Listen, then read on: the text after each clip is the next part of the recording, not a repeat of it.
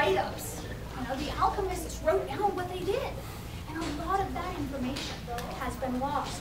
So a lot of what we know about Maria comes down just by oral tradition. There was an Egyptian alchemist named Zosimos who lived probably at least 100, maybe as many as 300 years after Maria.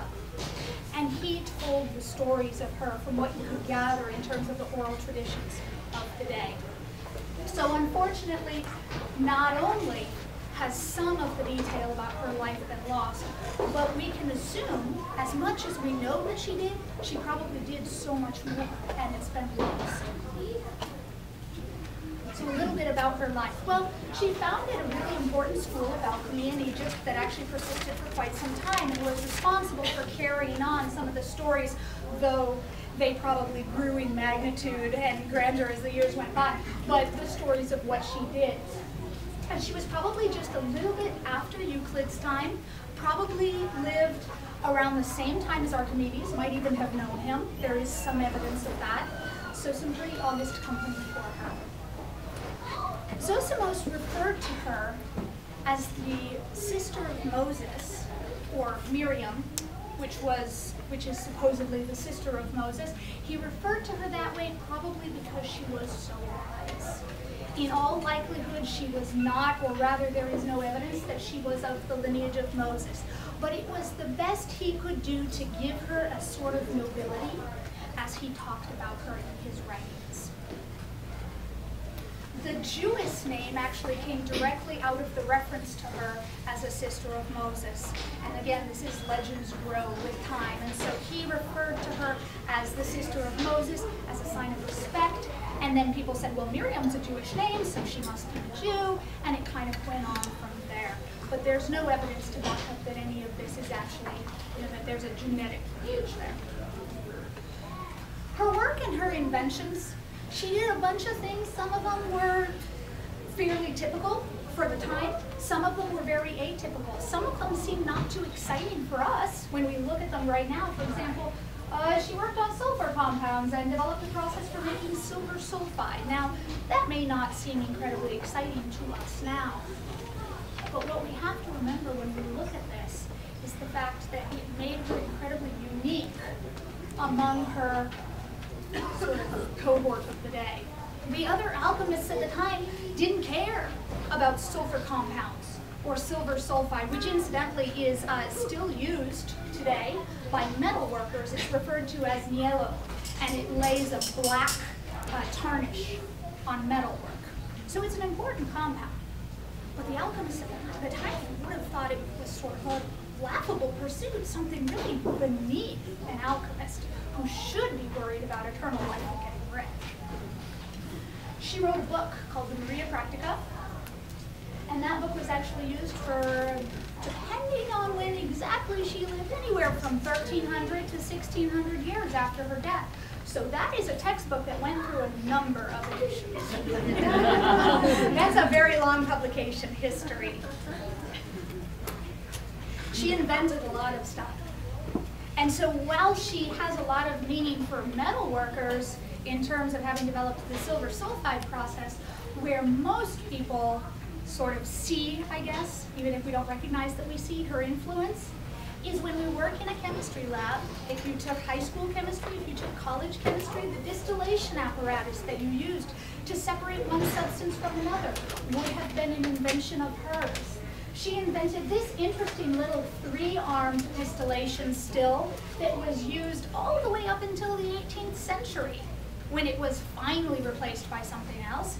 And actually she was, uh, she really knew her way around the kitchen because what she figured out, a big problem with distillation stills is they have to be sealed tightly.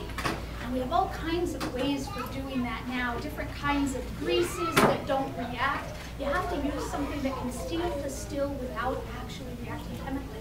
And she thought and thought, and she said to herself, hey, when you mix flour and water and let it dry, it makes like glue that really barely reacts with anything. Why don't I try rubbing that stuff on the joints of the still? And she did, and that was a trick that was used for centuries thereafter. She invented this little guy here, Kerotakis, which she used as a very high temperature double boiler, but which actually led to the design for the double boiler that if you've made candy, you've used in your kitchen to this day. A double boiler is a really convenient kitchen tool as well as a convenient lab tool. The reason being, and again you know this if you've tried to make candy, You've got to keep your candy at a really constant temperature. If it gets too hot or cools down too much, it's going to either burn or it's not going to crystallize properly. And so what you need is a setup where you don't burn it, but you keep it at a constant high temperature. And by boiling water in one pan and allowing the steam, which is always at the same temperature in the case of water steam, always 100 degrees Celsius, allowing it to condense on the bottom of the second pan where you have your candy, as long as you keep that water boiling, doesn't matter what the temperature does under the water, the steam is going to keep your candy at exactly the same temperature. Now she used this both for reactions that needed to run at a boiling water temperature, but also she would sometimes put metals and salts and things like that in the bottom compartment because they would boil at a much higher temperature and she could make a very high temperature double boiler to run very, very precise chemical reactions at high temperature. Something we still struggle with in the lab today. To this day, it can be a challenge to keep a high temperature reaction running at constant temperature throughout. Anyone who speaks French will have, well, anyone who speaks French and did any cooking will have heard actually the legacy of Maria in the name of the double boiler in French. It's called, and I apologize for my pronunciation, the Bain Marie, Maria's bath. Okay?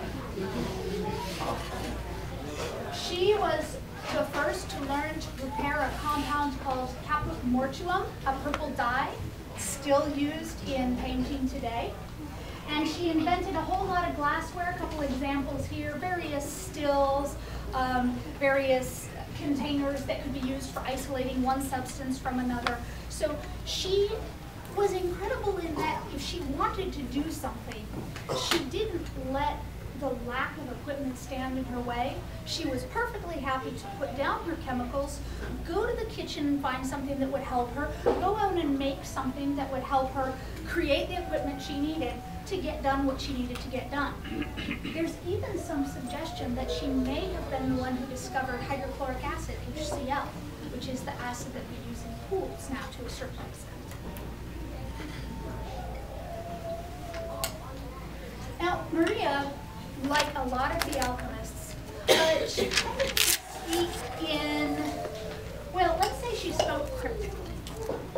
The alchemists were so mystical in a sense. And they were so tied in with trying to understand the universe in the context of magic or in the context of religion that they were always treading with maybe one foot in the realm of what could be considered sorcery or heresy.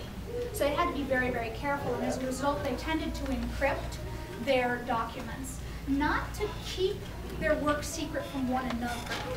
They weren't trying to keep their inventions secret. They were just trying to stay under the radar of anybody who might consider their doings uh, not on level. Okay? And Maria was no different. Because she tended to speak in these very cryptic phrases, we don't know necessarily whether some of the things that we have in the, the written and the oral history are things that she actually said and meant them literally, or if they were some kind of a code. But one of the things that she's supposed to have said is, join the male and the female and you will find what is sought. Now, who knows what that means, but it was actually picked up by Carl Jung, who used it as a representation of the unity of male and female.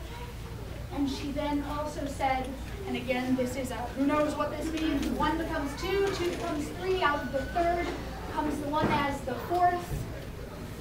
Whatever. That's the axiom of Maria. But once again, Jung picked it up and used it to explain and explore the dichotomy of wholeness versus individuation. And so the process of a child separating itself psychologically from the parents and things like that.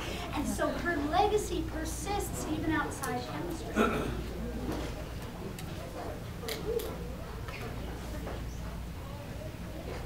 Now, one of the things before we move on here that I want to say about Maria, that I've kind of alluded to, is that not only was she not really quite an alchemist, in the sense that she didn't care so much about the things the other alchemists cared about. She was doing her own thing. She was interested in physical substances and what they really did, not what we could maybe get them to do if we could invent something that would help us find something that would help us become immortal or whatever. She was worried about how this chemical react with chemical And she was also an engineer. She developed the tools she needed in order to complete the experiment she wanted to complete. So in many, many ways, she was the first modern chemist. And in many ways, she avoided